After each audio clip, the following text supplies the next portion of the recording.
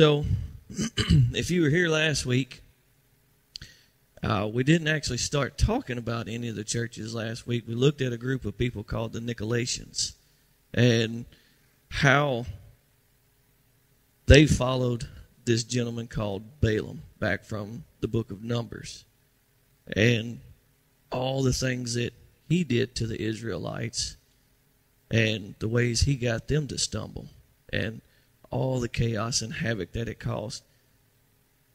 And what we took away from that was one person following or being controlled by the wrong spirit can cause a lot of trouble. Because I think in Numbers 25 it said 24,000 Israelites died because of Balaam and everything that he did. So our conclusion was to use the Bible as a mirror to examine ourselves to make sure we're doing right. So as we get into these churches, that's going to be the main theme is to look at ourselves because before we can see what's going on out here, we have to make sure we're right. And with that, um, tonight, uh, this will be titled The Seven Churches, and we're going to be looking at Ephesus and Sardis tonight. Because as I was studying through these, you could pair these churches together. They were either very similar in what they were doing right or what they were doing wrong, or they were just the opposite in what they were doing wrong. With one notable exception, and that's Laodicea then we'll look at that church by itself. But tonight, uh, starting with Ephesus and Sardis, uh, just want to ask a question to get started. Uh, would you prefer Democrats or Republicans? And now you're going to run me off because I brought politics in here. But legitimate question: if, if you had to choose, would you be more Democrat or would you be more Republican? Yeah, I was going to say, I kind of feel like we'd all tend to lean more Republican in here. The thing about that, Republicans are real conservative. Republicans like their rules, whereas Democrats tend to be a little more liberal. And we may not necessarily need all these rules. You know, we can kind of figure it out on our own. That's what we see with Ephesus and Sardis. Ephesus went a little to the right, a little too far to the right, and got very legalistic. Whereas Sardis went a little to the left, just the opposite, and got a little too liberal. So let's dive into this and take a look. Uh, so in Revelations chapter 2, verses 1 through 7, we'll see uh, the text for Ephesus. So it says, To the angel of the church in Ephesus, write the words of him who holds the seven stars in his right hand, who walks among the seven golden lampstands. I know your work, your toil, and your patience, patient endurance, and how you cannot bear with those who are evil, but have tested those who call themselves apostles and are not, and found them to be false. I know you are enduring patiently and bearing up for my name's sake, and have not grown weary. But I have this against you, that you have abandoned the love you had at first. Remember, therefore, from where you have fallen, repent, and do the works you did at first. If not, I will come to you and remove your lampstand from its place, unless you repent. Yet this you have you hate the work of the Nicolaitans, which I also hate. He who has an ear, let him hear what the Spirit says to the churches. To the one who conquers, I will grant to eat of the tree of life, which is in the paradise of God. So there's a lot to unpack there. But let's look at the text for Sardis real quick. And this is in chapter 3, verses 1 through 6. And it says, And to the angel of the church in Sardis, write the words of him who has the seven spirits of God and the seven stars. I know your works. You have the reputation of being alive, but you are dead. Wake up and strengthen what remains and is about to die, for I have not found your works complete in the sight of my God. Remember then what you received and heard, keep it and repent. If you will not wake up, I will come like a thief, and you will not know at what hour I will come against you. Yet you still have a few names in Sardis, people who have not soiled their garments, and they will walk with me in white, for they are worthy. The one who conquers will be clothed thus in white garments, and I will never blot his name out of the book of life. I will confess his name before my Father and before his angels. He who has an ear, let him hear what the Spirit says to the churches. So, there is a whole lot to unpack here. And you could probably do a sermon on each church individually, looking at a lot of things. But the main things that the Holy Spirit was showing to me to cover was well, what they were doing right, their commendations, what they were doing wrong, what they got rebuked for, and how to fix it if they were doing wrong. So let's jump into the commendations. What were they doing right? So we see that in chapter 2, verses 2 and 3 for Ephesus. It says, I know your work, your toil and your patient endurance, and how you cannot bear with those who are evil, but have tested those who call themselves apostles and are not found, and are not, and found them to be false. I know you are enduring patiently and bearing up for my name's sake, and you have not grown weary. So there's a lot of good things there. It says that they didn't didn't let the the false apostles and things like that get into their church. They were able to see that beforehand. And that goes along with First John chapter 4 it says, Beloved, do not believe every spirit, but test the spirits to see whether they are from God. For many false prophets had gone out into the world. So they were on top of that. They followed that rule. And if we remember from the first, Ephesus had gone very legalistic, so they were very much in favor of following the rules, and this was a rule. So they they everybody that come in, it's like we got to test them. We got to see where they're at, right? And it said that they were patiently enduring.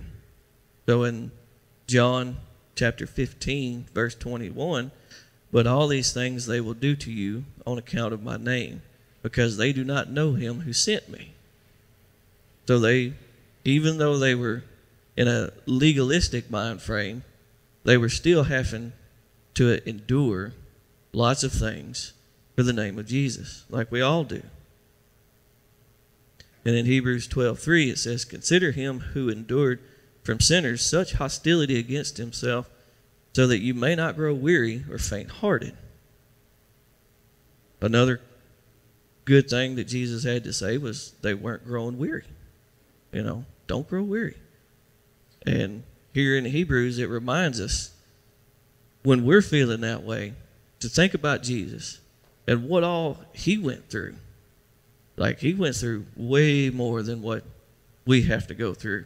And if he can make it through that, and our faith is in him, then his strength will get us through anything that we go through.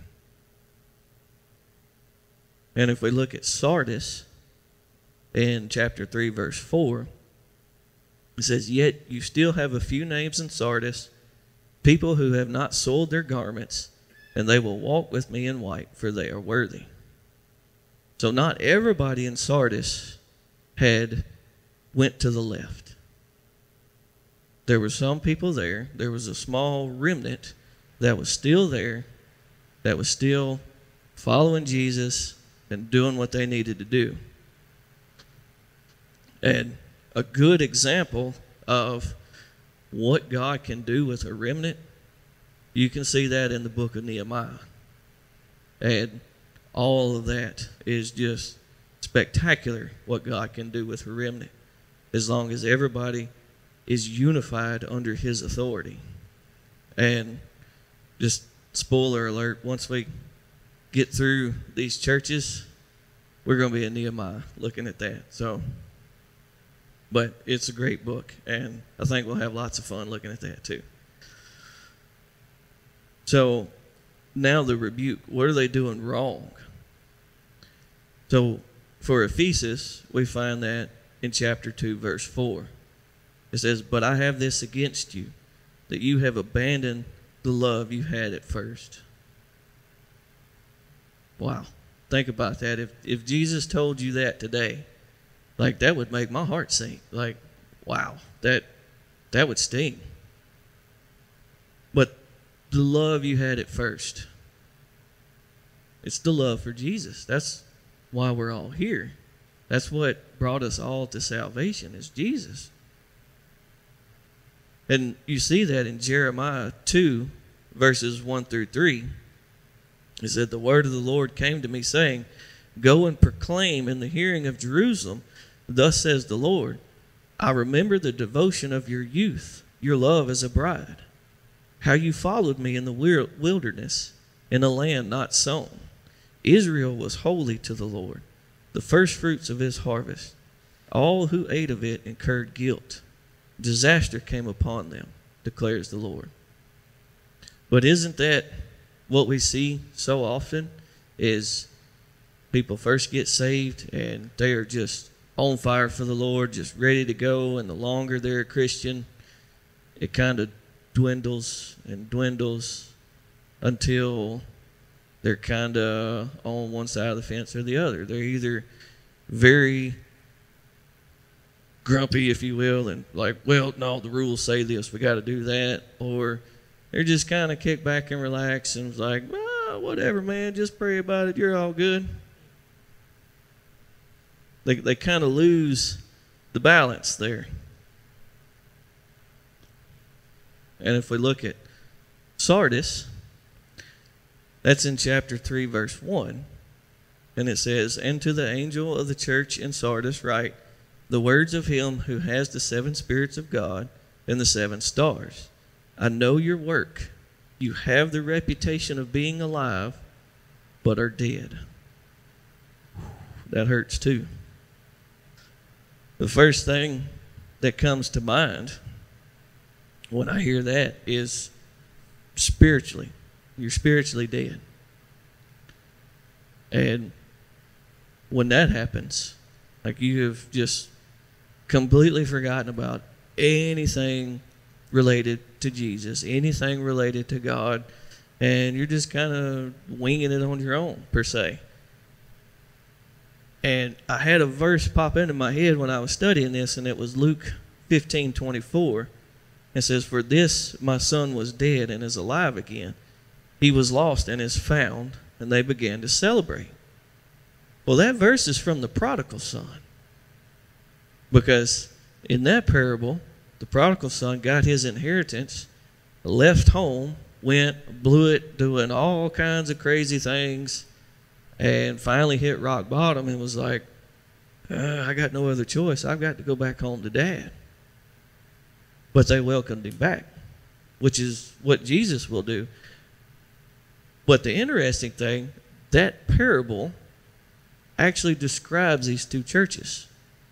Because you see, the prodigal son, we'll, we'll call the one that, that left Sardis. He went, did his own thing, blew his money, didn't you know care about anything in the world. But there was another son at home that when the prodigal son come back and the father was giving him grace and throwing a party, he got mad. He didn't understand grace. He was very legalistic. I've been here. I've been doing all this work. I've been working and doing all this stuff, and you're going to throw him a party? He wasted all this money. So that parable kind of shows you where these two churches are at. One is way too far to the left, one is way too far to the right. So the resolution. So for Ephesus, we see that in chapter 2, verse 5. And it says, Remember, therefore, from where you have fallen, repent and do the works you did at first. If not, I will come to you and remove your lampstand from its place unless you repent. So, repentance. And we'll see that mirrored again in Sardis. Repentance. We have to admit we're wrong first before we can repent. But Jesus is telling them, remember the works you did at first. In Hebrews 10:32 it says, "But recall the former days when after you were enlightened, you endured a hard struggle with sufferings." So why are we being told to think back? Because when we first met Jesus and first got our salvation, we were on fire for him. The sufferings, the things that come at us didn't hurt as bad. Because, hey, I've got a Savior I can go to. This isn't really making sense. Let me go to Jesus. This is kind of crazy. I don't know what to do. Let me go to Jesus. Remember those days because that is what will get you through those sufferings and help you to not turn into the, the grumpy dictator, if you will. And for Sardis, we see in chapter 3, verses 2 and 3, it says, Wake up and strengthen what remains and is about to die, for I have not found your works complete in the sight of my God. Remember then what you have received and heard, keep it and repent. If you will not wake up, I will come like a thief, and you will not know at what hour I will come against you. Again, we see repentance. But we also see Jesus saying, Wake up! Wake up, everybody! You're falling asleep. You're dying, and you don't even realize it. In 2 Timothy verse or chapter 1 verse 13 it says follow the pattern of the sound words that you have heard from me in the faith and love that are in Christ Jesus. And if you remember Timothy followed Paul. He learned practically everything he knew from Paul about running churches and all of his ministry. You think Paul told him, well, just pray about it, man. You'll be all right. No, you get to work. I mean, look at what he says in Second Thessalonians. If someone won't work, don't have anything to do with them. So, when you have folks that tend to be more liberal, they don't necessarily want to do the work. They're more of a, uh, well, I'll pray about it and see what the Lord does. When they should be stepping up and working. But the pattern there, the main pattern is repentance. So, if you are able to change, if you are able to repent, the Lord does list some rewards. For Ephesus, in chapter 2, verse 7, he says, He who has an ear, let him hear what the Spirit says to the churches. To the one who conquers, I will grant to eat of the tree of life which is in the paradise of God. And for Sardis, that's in chapter 3, verses 4 and 5.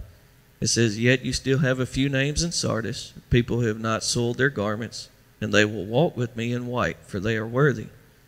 The one who conquers will be clothed thus in white garments, and I will never blot his name out of the book of life.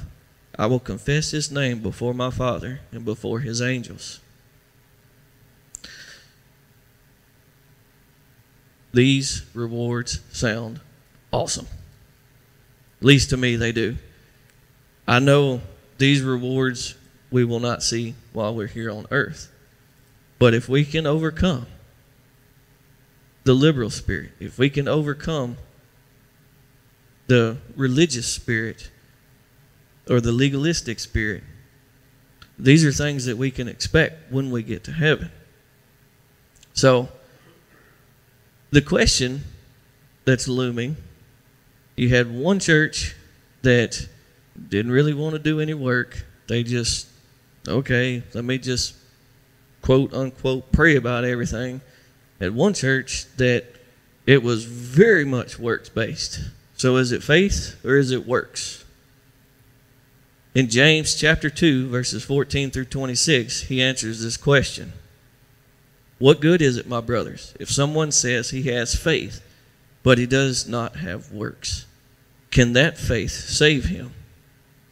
If a brother or sister is poorly, poorly clothed and lacking in daily food, and one of you says to them, Go in peace, be warmed and filled, without giving them the things needed for the body, what good is that? So also, faith by itself, if it does not have works, is dead. But someone will say, You have faith, and I have works. Show me your faith apart from your works, and I will show you my faith by my works. You believe that God is one. You do well. Even the demons believe and shudder. Do you want to be shown, you foolish person, that faith apart from works is useless? Was not Abraham, our father, justified by works when he offered up his son Isaac on the altar? You see that faith was active all along with his works, and faith was completed by his works. And the scripture was fulfilled that says, Abraham believed God, and it was counted to him as righteousness and he was called a friend of God. You see that a person is justified by works and not by faith alone. And in the same way was not Rahab the prostitute justified by works when she received the messengers and sent them out another way. For as the body apart from the spirit is dead, so also faith apart from works is dead. So you can also say, from this if faith without works is dead faith, then works without faith is the same thing. Because it takes both to have them. You can't be just all faith and, yep, I'm just going to stand here and ask the Lord to provide me everything I need and not actually work or do anything, or I'll ask Him to provide everything that y'all need and not actually give it to you if I have it. But at the same time, you can't stand over here and say, well, if you don't follow the rules, you're wrong. And everything is rule, rule, rule, rule, rule. So we got to make sure that we don't go too far to the left or too far to the right. It takes both, and it takes a healthy mix and a healthy balance of both. So the spirits of religion or legalism and liberalism are responsible for pushing us too far to the left or too far to the right. So the religious spirits, an example that you can see in the Bible of those guys are the Pharisees. Very rule based. You gotta gotta follow the rules. I mean Jesus even made fun of them for tithing out of their spice rack because they, they you got to follow the rules down to the last set of spices in your spice rack.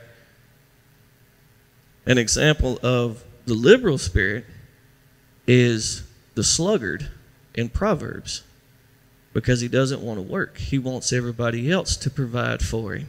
He wants everybody else to, to help him do everything.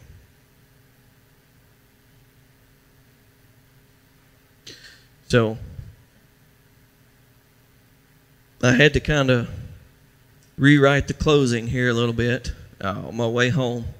The Lord wanted to change a few things. Uh, but a few signs of a legalistic spirit.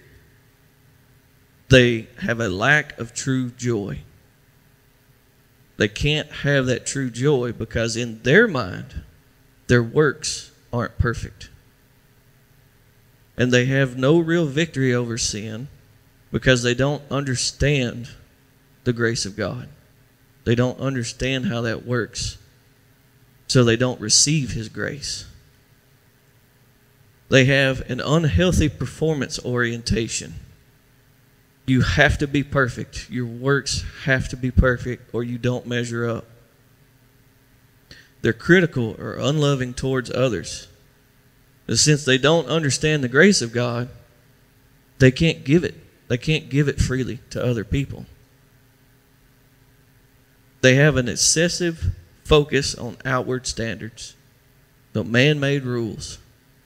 They take what it says in, in the Bible and they add to it a lot of extra stuff because something happened a long time ago with their grandparents and they put a rule in place to help them stay in line with God's word, but now that's the standard. Not God's word, but their rule. They're in bondage to religious tradition. So they say things like, well, this is the way we've always done it, which kind of goes back to the other example. Their grandparents or great grandparents put something in place, and, well, this is the way we've always done it. They have a sectarian attitude towards others, meaning they believe their way is the only right way to do things.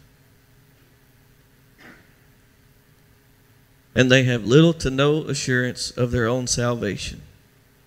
And this is due to their belief in their works and not their belief in the works of Jesus. So, a legalistic spirit, someone who has this spirit,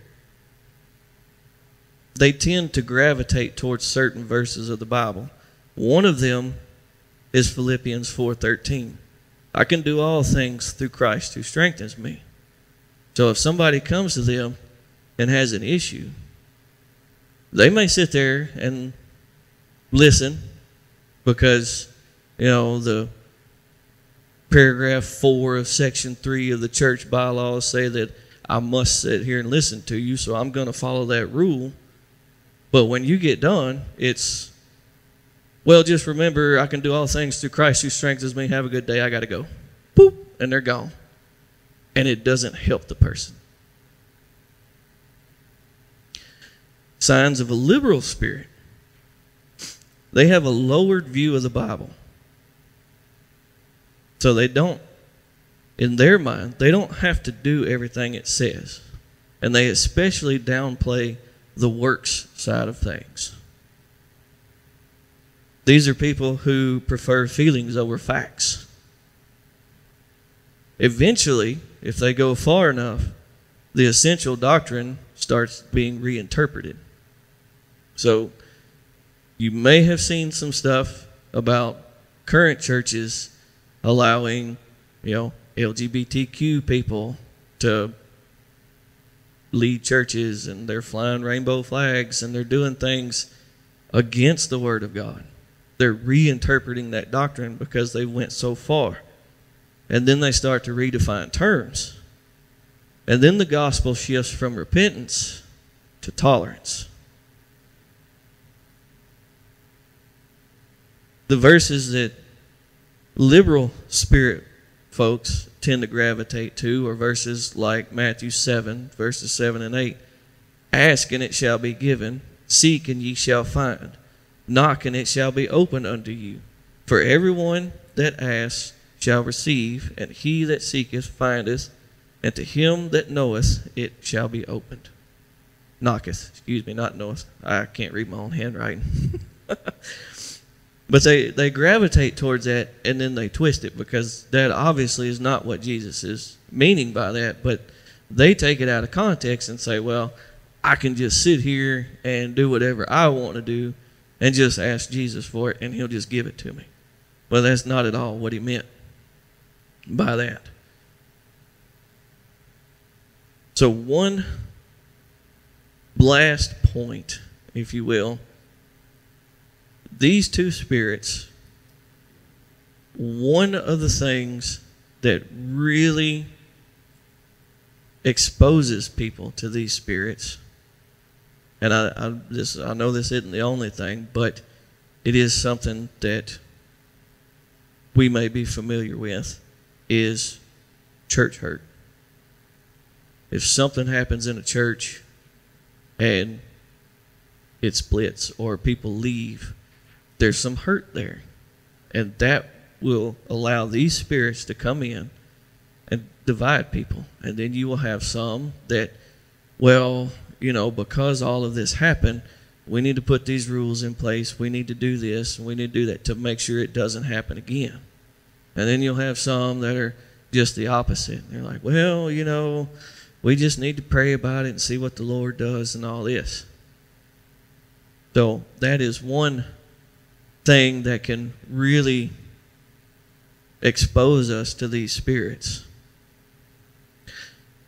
And just like last week, the best way to protect ourselves from this is to use the Bible as a mirror to help ourselves see if we're starting to have any of these tendencies and we're starting to go a little too far right or a little too far left.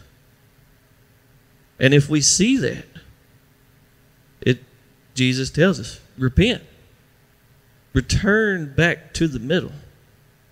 Return back to him and focus on him and not be so liberal minded or so legalistic. So with that, I would say definitely you want to use your Bible as a mirror before you use it for binoculars to look at anybody else. And we have to use it as a mirror to make sure our hearts are right and our minds are right before we will even be able to notice any of this other stuff that's going on. Because if we have legalistic tendencies, we think it's normal and we won't see it anywhere else. But as soon as we get ourselves right with Jesus, then we can see it. Same with the liberal. So that's all I have. And just encourage and reiterate mirror. Use it as a mirror. But we always need to be examining ourselves. And with that, I'll close this in some prayer. And if anybody wants to come forward and pray, you're more than welcome to. Heavenly Father, we come to you again tonight, and we want to thank you, Lord, for being here with us as we read your word and studied. And we thank you for showing us all the things that you wanted us to see. And we just ask, Lord, that you help us to remember to look to you and to use your word as a mirror to examine our own selves so that we're not going too far to the left or too far to the right and that we can stay in the middle and stay focused on you.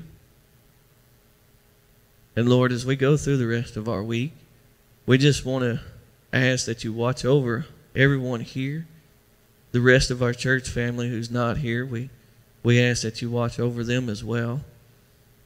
And just help us to recall the lessons that you've shown us here tonight whenever we need them. And help us to remember that and to stay focused on you, Lord. And I pray in Jesus' name, amen.